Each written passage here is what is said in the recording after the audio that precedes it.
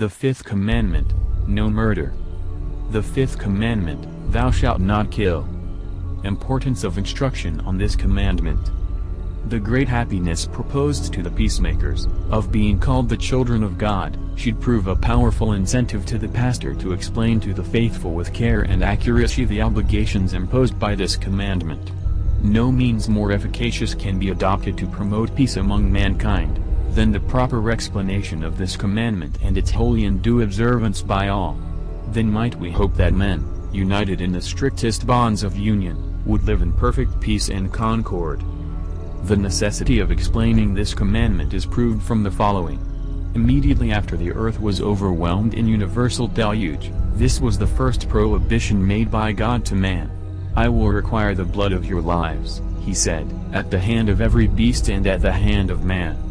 In the next place, among the precepts of the old law expounded by our Lord, this commandment was mentioned first by him, concerning which it is written in the Gospel of St. Matthew, It has been said thou shalt not kill, etc. The faithful, on their part, should hear with willing attention the explanation of this commandment, since its purpose is to protect the life of each one. These words, thou shalt not kill, emphatically forbid homicide, and they should be heard by all with the same pleasure as if God, expressly naming each individual, were to prohibit injury to be offered him under a threat of the divine anger and the heaviest chastisements. As, then, the announcement of this commandment must be heard with pleasure, so also should the avoidance of the sin which it forbids give pleasure. Two parts of this commandment. In the explanation of this commandment the Lord points out its twofold obligation.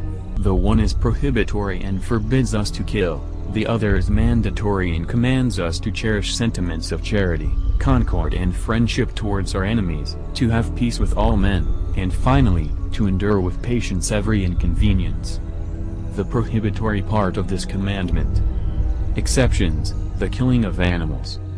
With regard to the prohibitory part, it should first be taught what kinds of killing are not forbidden by this commandment. It is not prohibited to kill animals, for if God permits man to eat them, it is also lawful to kill them. When, says St. Augustine, we hear the words, Thou shalt not kill, we do not understand this of the fruits of the earth, which are insensible, nor of irrational animals, which form no part of human society. Execution of criminals. Another kind of lawful slaying belongs to the civil authorities, to whom is entrusted power of life and death, by the legal and judicious exercise of which they punish the guilty and protect the innocent. The just use of this power, far from involving the crime of murder, is an act of paramount obedience to this commandment which prohibits murder. The end of the commandment is the preservation and security of human life. Now the punishments inflicted by the civil authority, which is the legitimate avenger of crime, naturally tend to this end, since they give security to life by repressing outrage and violence. Hence these words of David, In the morning I put to death all the wicked of the land, that I might cut off all the workers of iniquity from the city of the Lord. Killing in a just war. In like manner, the soldier is guiltless who, actuated not by motives of ambition or cruelty, but by a pure desire of serving the interests of his country, takes away the life of an enemy in a just war. Furthermore, there are on record instances of carnage executed by the special command of God. The sons of Levi, who put to death so many thousands in one day, were guilty of no sin. When the slaughter had ceased, they were addressed by Moses in these words, You have consecrated your hands this day to the Lord. Killing by accident. Again, death caused, not by intent or design, but by accident, is not murder. He that killeth his neighbor ignorantly, says the book of Deuteronomy, and who is proved to have had no hatred against him yesterday and the day before, but to have gone with him to the wood to hew wood, and in cutting down the tree the axe slipped out of his hand, and the iron slipping from the handle struck his friend and killed him, shall live.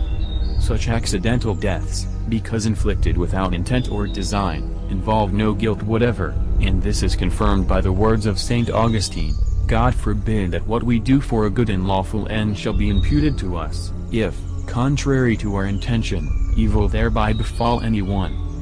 There are, however, two cases in which guilt attaches, to accidental death. The first case is when death results from an unlawful act, when, for instance, a person kicks or strikes a woman in a state of pregnancy, and abortion follows. The consequence, it is true, may not have been intended, but this does not exculpate the offender, because the act of striking a pregnant woman is in itself unlawful. The other case is when death is caused by negligence, carelessness or want of due precaution. Killing in self-defense. If a man kill another in self-defense, having used every means consistent with his own safety to avoid the infliction of death, he evidently does not violate this commandment. Negative part of this commandment forbids murder and suicide. The above are the cases in which life may be taken without violating this commandment, and with these exceptions all other killing is forbidden, whether we consider the person who kills, the person killed, or the means used to kill. As to the person who kills, the commandment recognizes no exception whatever, be he rich or powerful, master or parent. All, without exception or distinction, are forbidden to kill. With regard to the person killed, the law extends to all. There is no individual, however humble or lowly his condition, whose life is not shielded by this law. It also forbids suicide. No man possesses such power over his own life as to be at liberty to put himself to death. Hence we find that the commandment does not say, Thou shalt not kill another, but simply, Thou shalt not kill. Finally, if we consider the numerous means by which murder may be committed, the law admits of no exception. Not only does it forbid to take away the life of another by laying violent hands on him, by means of a sword, a stone, a stick, a halter, or by administering poison, but also strictly prohibits the accomplishment of the death of another by counsel, assistance, help or any other means whatever. Sinful anger is also forbidden by the fifth commandment. The Jews, with singular dullness of apprehension, thought that to abstain from taking life with their own hands was enough to satisfy the obligation imposed by this commandment. But the Christian, instructed in the interpretation of Christ, has learned that the precept is spiritual, and that it commands us not only to keep our hands unstained, but our hearts pure and undefiled, hence what the Jews regarded as quite sufficient, is not sufficient at all.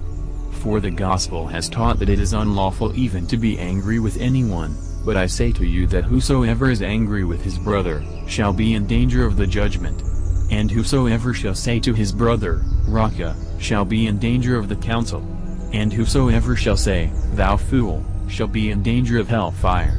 From these words it clearly follows that he who is angry with his brother is not free from sin, even though he conceals his resentment, that he who gives indication of his wrath sins grievously, and that he who does not hesitate to treat another with harshness, and to utter contumelious reproaches against him, sins still more grievously.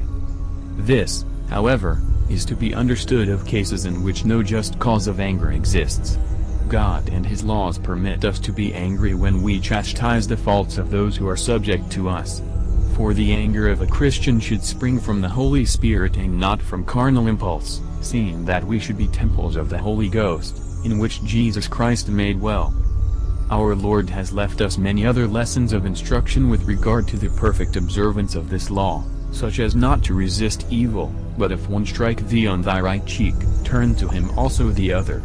And if a man will contend with thee in judgment, and take away thy coat, let go thy cloak also unto him, and whosoever will force thee one mile, go with him two. Remedies against the violation of this commandment.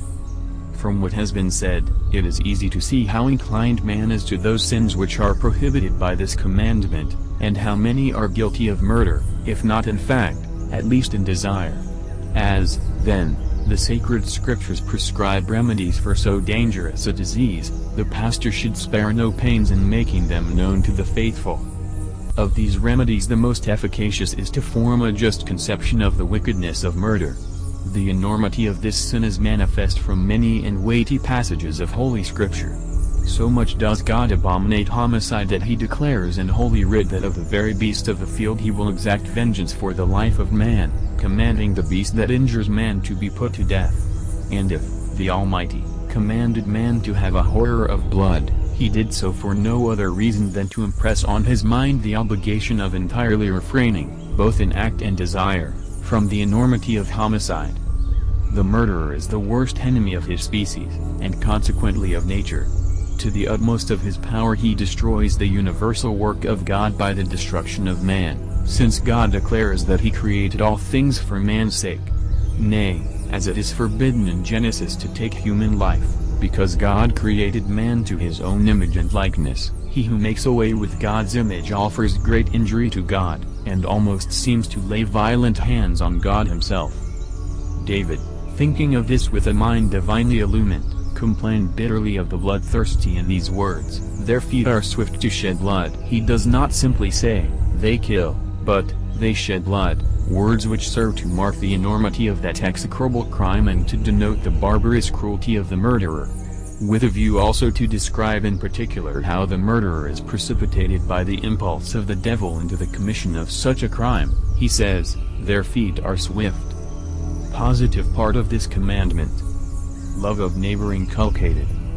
The mandatory part of this commandment, as Christ our Lord enjoins, requires that we have peace with all men. Interpreting the commandment he says, If therefore thou offer thy gift at the altar, and there thou remember that thy brother hath anything against thee, leave there thy offering before the altar, and go first to be reconciled to thy brother, and then coming thou shalt offer thy gift, etc.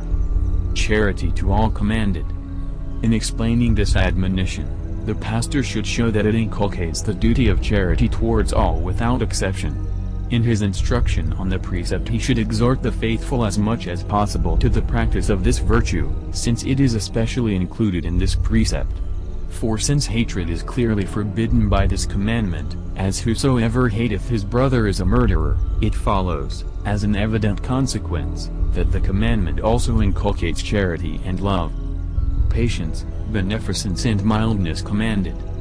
And since the commandment inculcates charity and love, it must also enjoin all those duties and good offices which follow in their train.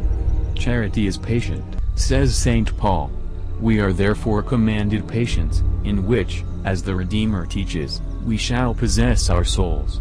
Charity is kind, beneficence is, therefore, the friend and companion of charity.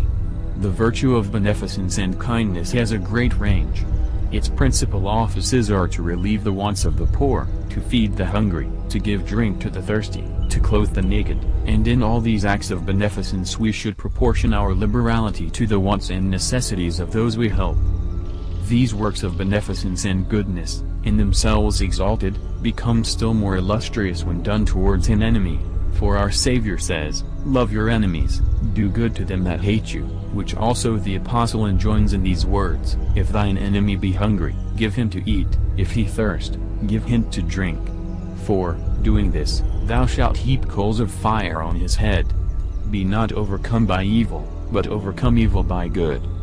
Finally, if we consider the law of charity, which is kind, we shall be convinced that to practice the good offices of mildness, clemency, and other kindred virtues, is a duty prescribed by that law. Forgiveness of injuries commanded. But the most important duty of all, and that which is the fullest expression of charity, and to the practice of which we should most habituate ourselves, is to pardon and forgive from the heart the injuries which we may have received from others. The sacred scriptures, as we have already observed, frequently admonish and exhort us to a full compliance with this duty. Not only do they pronounce blessed those who do this, but they also declare that God grants pardon to those who really fulfill this duty, while he refuses pardon to those who neglect it, or refuse to obey it. How to persuade men to forgive injuries.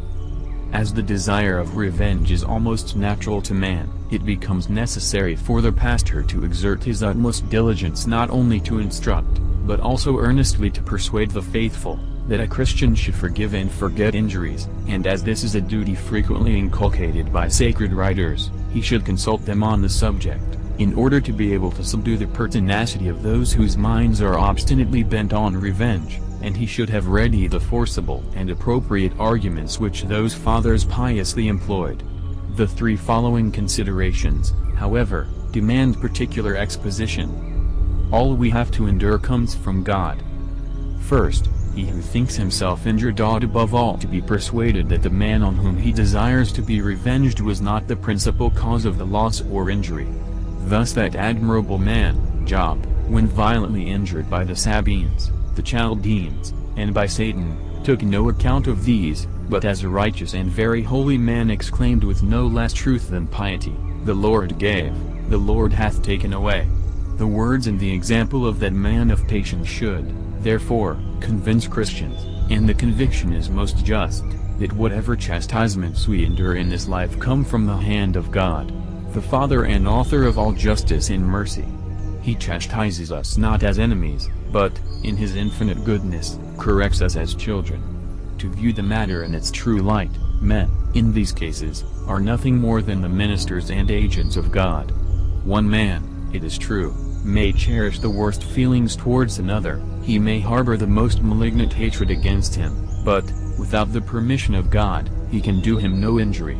This is why Joseph was able patiently to endure the wicked counsels of his brethren, and David, the injuries inflicted on him by Semei. Here also applies an argument which St. Chrysostom has ably and learnedly handled. It is that no man is injured but by himself. Let the man, who considers himself injured by another, consider the matter in the right way and he will certainly find that he has received no injury or loss from others. For although he may have experienced injury from external causes, he is himself his greatest enemy by wickedly staining his soul with hatred, malevolence and envy. Advantages of Forgiveness The second consideration is that there are two advantages, which are the special rewards of those, who, influenced by a holy desire to please God, freely forgive injuries.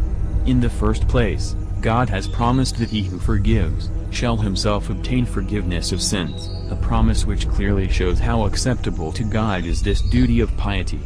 In the next place, the forgiveness of injuries ennobles and perfects our nature, for by it man is in some degree made like to God, who maketh his sun to shine on the good and the bad, and raineth upon the just and the unjust.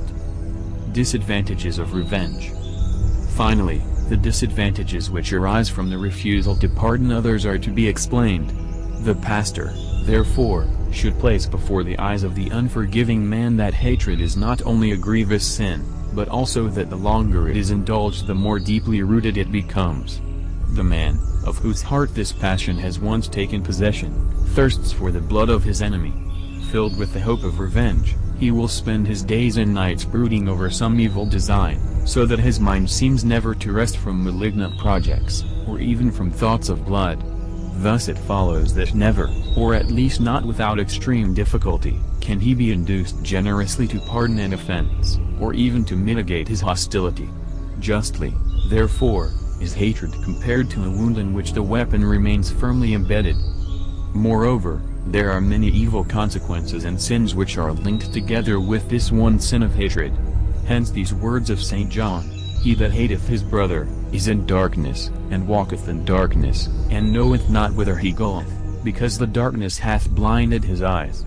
He must, therefore, frequently fall, for how can anyone view in a favorable light the words or actions of him whom he hates? Hence arise rash and unjust judgments, anger, envy, detractions, and other evils of the same sort, in which are often involved those who are connected by ties of friendship or blood, and thus does it frequently happen that this one sin is the prolific source of many. Not without good reason is hatred called the sin of the devil. The devil was a murderer from the beginning, and hence our Lord Jesus Christ, the Son of God, when the Pharisees sought his life, said that they were begotten of their father the devil. Remedies against hatred Besides the reasons already adduced, which afford good grounds for detesting this sin, other and most suitable remedies are prescribed in the pages of Holy Writ.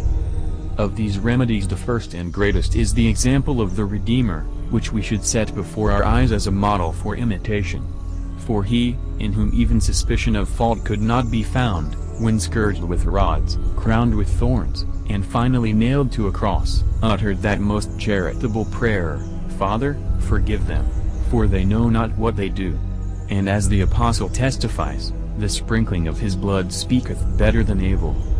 Another remedy, prescribed by Ecclesiasticus, is to call to mind death in judgment, remember thy last end, and thou shalt never sin.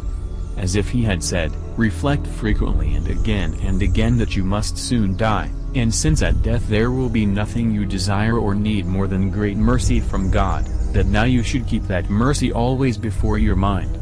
Thus the cruel desire for revenge will be extinguished, for you can discover no means better adapted, none more efficacious to obtain the mercy of God than the forgiveness of injuries and love towards those who in word or deed may have injured you or yours.